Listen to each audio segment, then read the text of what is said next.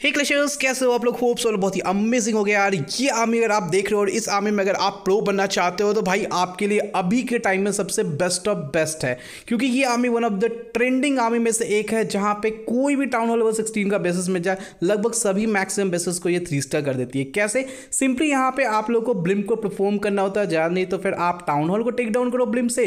Otherwise आप eagle are three के साथ कुछ वैल्यू अच्छा खासा निकाल लो। एक पूरा अच्छा फनलिंग बनना चाहिए।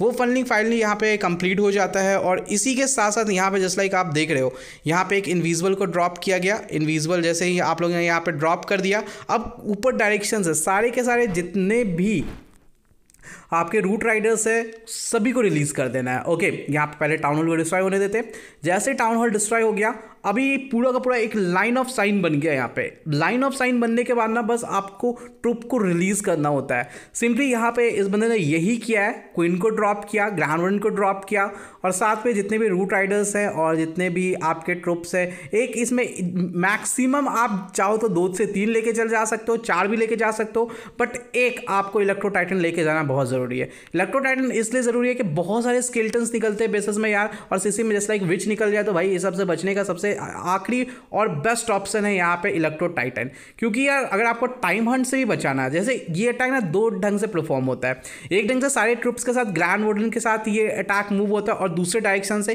किंग और क्वीन वॉक करवा दिया जाता है, ठीक है? लेकिन यहाँ पर अगर आप देखोगे तो यहाँ पे बस सिमिलर डायरेक्शन से मूव करने की कोशिश की जा रही है हर एक ट्रुप्स के साथ। तो इस केस में थोड़ा सा टाइम हंट की ना पॉसिबिलिटीज़ बन जाती है। अगर आप ज़्यादा टाइम स्पेंड कर दिए हो डिसीज़न लेने में या फिर ब्लिम को परफॉर्म करने में तो गाइज़ आपको दोनों साइड से अटैक करना पड़ेगा। टाइम हंट से बचना है तो। अदरवाइज़ इट्स ओके गाइज़ यहाँ पे देख सकते हो, बहुत ही खूबसूरती के साथ यहाँ पे ये अटैक को परफॉर्म किया जा रहा है यूनिट डायरेक्शन से। एंड यहाँ पे ग्राउंड की एबिलिटी को ड्रॉप कर दिया गया है, जिससे सारे के सारे ट्रुप्स इम्यून हो चुके हैं। मैक्सिमम जहाँ पे हेवी डिस्ट्रक्शन पड़ सकता था, वहीं पे यहाँ पे इम्यून कर दिया गया है। बहुत ही खूबसूरती के साथ यहाँ पे गॉन्डलेट एबिलिटी यूज़ कर दी गई है। ये वाला ग्लिच अभी चल रहा है। ग्रैंड की एबिलिटी यूज़ करने के बाद और उसके अंदर किंग रहेगा ना, उसके बाद अगर आप किंग की एबिलिटी यूज़ करोगे तो ग्रैंड की जो एबिलिटी का पंद्रह सेकेंड था ना, वो किंग को भी मिल जाएगा। फिर से किंग इम्यून हो जाएगा पंद्रह सेकेंड के लिए। तो ये वाला एबिलिटी अभी तक आप फ़ायदा नहीं उठाओ तो उठाओ, अभी भी उठाओ। जब तक अपडेट नहीं आता है, जैसे ही अपडेट आएगा, ये वाला एबिलिटी खत्म सा हो जाएगा क्लासेस अब बहुत ही मिनिमम बेस बच चुका है यहाँ पे जस्ट लाइक आप देख सकते हो एटी थ्री परसेंट का डिस्ट्रक्शन हो चुका है।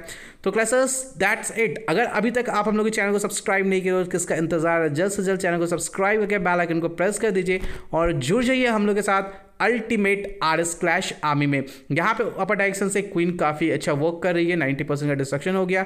रॉयल चैंपियन के यहाँ पे एबिलिटी को यूज़ कर दिया गया है और दैट सेट क्लासेस यहाँ पे देख सकते हो कितनी खूबसूरती के साथ परफेक्टली थ्री स्टार होता हुआ। मिलेंगे नेक्स्ट वीडियो में। Bye have a good day clash on classes